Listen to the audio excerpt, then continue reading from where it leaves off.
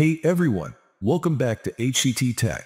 Sharing files between computers on the same Wi-Fi network is a quick and easy way to transfer data, whether you're at home or in the workplace. In this guide, we'll walk you through a simple and effective method to transfer files between two laptops running Windows 10 or 11.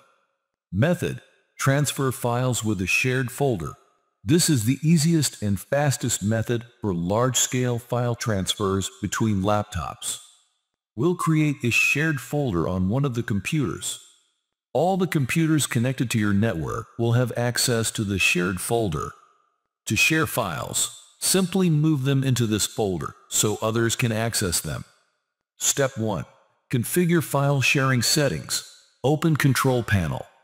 Click on Network and Internet. Select Network and Sharing Center. From the left panel, choose Change Advanced Sharing Settings. In the Private Network section, ensure that network discovery and file sharing options are turned on. Under All Networks, turn off Password Protected Sharing. Step 2. Ensure essential services are running. In this step, we'll check and ensure the necessary services are started and set to run automatically. Follow these steps carefully. Open the Services panel.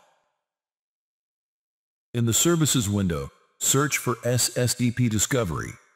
Double-click on it to open its properties.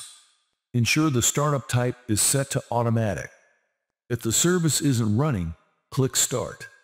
Click Apply and then OK to save changes.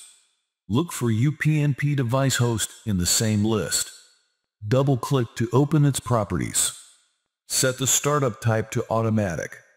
If it's not running, click Start, then Apply and OK.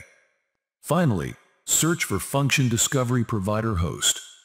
Double-click to open its properties. Set startup type to automatic and start the service if needed. Save changes by clicking Apply and OK. Step 3. Set up a shared folder. Open File Explorer and create a folder. Name the folder, for example, My Shared Data. Add any data to the folder you want to share. Right-click the folder and select Properties. Go to the Sharing tab and click Advanced Sharing. Check the box for Share this folder. Click Permissions and ensure Everyone is selected. Allow full control, change, and read permissions. Click Apply and then OK. Back in the Sharing tab, click the Share button. From the drop-down, select Everyone and click Add. Set the permission level to read-write. Click Share. Your folder is now shared and accessible over the network. Step 4. Access the shared folder on the recipient's computer. Open File Explorer and click Network. If you see an error message about network discovery being turned off, click on the banner and select Turn on Network Discovery and File Sharing. Once enabled, the shared folder will become accessible. Wow, it's done. You can now see the shared folder displayed on the reception computer. From here, simply copy and paste the files you want to transfer.